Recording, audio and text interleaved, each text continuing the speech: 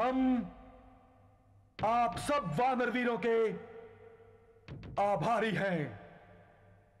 गुण सुंदर आपने बाली की विशाल सेना की शक्ति को कम करके हमारे उत्साह को बढ़ाया है।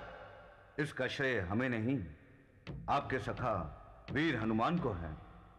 यदि वीर हनुमान आपके साथ ना होते तो वानर राज बाली के भय से कोई भी वानर वीर आपके पास भी ना आता। यह तो सत्य है गुणसुंदर। हनुमान के बिना हम कुछ ना कर पाते। हनुमान तो हमारे लिए भगवान के वरदान के समान है। नहीं सुग्रीव नहीं। ऐसा कहकर तो आप मुझे लज्जित कर रहे हैं। हम अपने में और आपके इन वानर वीरों में कोई भेद नहीं समझते।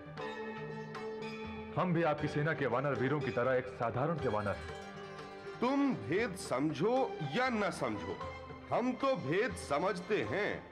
अंजनी पुत्र केसरी नंदन सूर्य शिष्य रुद्रावतार हनुमान साधारण वानर नहीं हो सकते।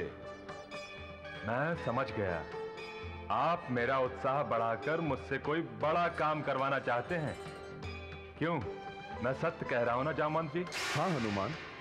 इस समय तुम्हें एक महान कार्य करना है। प्रणाम पालक पिता पवन देव। आयुष्मान भव हनुमान।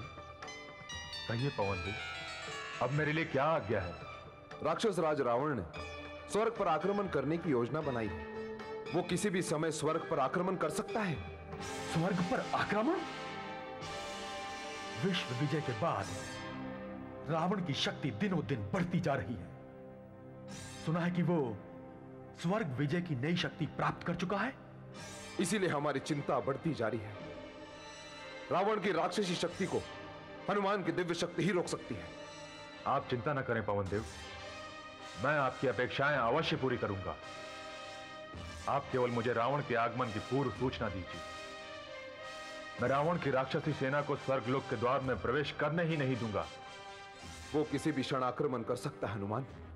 वो अपनी वरदानी शक्ति से अपनी सेना को आकाश में पहुँचा देगा। और स्वयं स्वर्ग पर टूट पड़ेगा। और अब तो उसके दोनों पुत्र मेघनाथ और अक्षय भी उसके साथ हैं। रावण के पुत्र? हाँ सुग्रीव। रावण के पुत्र तो क्या? उसके पुरखे भी उसके साथ रहे तो भी उनका मुँह तोड़ उत्तर दिया जाएगा। आप चिंता न करें पवन देव। धन्य हो हनुमान। तुम धन्य हो। बोलो पवन सुत हनुमान की। वीर हनुमान की। यदि बोलना ही है तो आप सब लोग मेरे साथ बोलिए।